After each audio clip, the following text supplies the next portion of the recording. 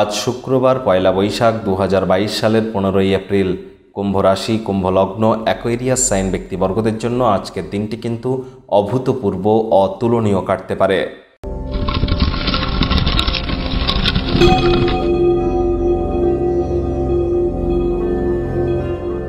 আজ শুরুতেই আপনাদের জানাব শুভ নববর্ষের হার্দিক শুভেচ্ছা ও অভিনন্দন।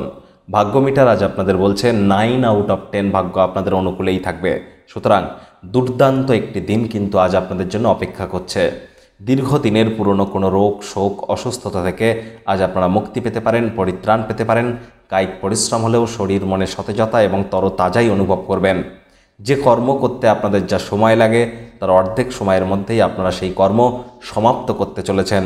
সুস্বাস্থ্যের কারণে আপনারা বন্ধু বান্ধবদের সাথে বাইরে গিয়ে কোনো খেলাধুলো দেখার পরিকল্পনা করতে পারেন, খেলাধুলো করে কাটাতে পারেন বা যারা স্পোর্টস ইন্ডাস্ট্রির সাথে যুক্ত, তাদের কিন্তু অফুরন্ত সাফল্য লাভের সম্ভাবনা আজ প্রবল। ছবি আঁকা, নাচ গান, নাটক, কবিতা আবৃত্তি, কোনো প্রকার ক্রিয়েটিভ কাজকর্মের সাথে যারা যুক্ত, দীর্ঘ প্রতীক্ষিত নাম যশ খ্যাতি আপনাদের মিলতে চলেছে। অর্থগতভাবেও ভাগ্যদেবী কিন্তু আজ আপনাদের পক্ষেই আছেন। বিজনেসম্যানদের বলব, আর্থিক লেনদেন, আর্থিক বিনিয়োগ, অর্থগত বিষয়ে গুরুত্বপূর্ণ সিদ্ধান্ত গ্রহণ করবার জন্য দিনটি আপনাদের পক্ষেই থাকছে।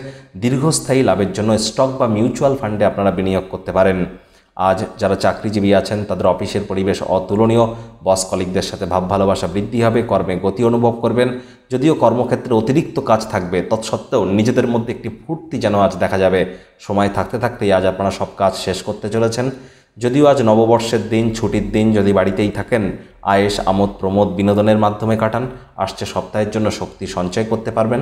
শিক্ষার্থী, বিদ্যার্থীদের আজকের দিনটি কিন্তু সাফল্যে ভরা। যে কোনো প্রকার পরীক্ষায় আপনারা বসুন, সফল হবেন। উচ্চশিক্ষার জন্য যারা বিদেশ যাত্রার কথা ভাবছিলেন, ভাগ্যদেবী কিন্তু আজ তাদের পক্ষেই আছেন। আজ পরিবার, পরিজন, নিকটে স্থানীয় ব্যক্তিবর্গদের সাথে দিনটি কিন্তু কোয়ালিটি টাইম পাসের মধ্য দিয়েই কাটবে। আপনার তরফে আজ বিশেষ কিছু না করেও অন্যদের কিন্তু দৃষ্টি আপনারা আকর্ষণ করতে চলেছেন।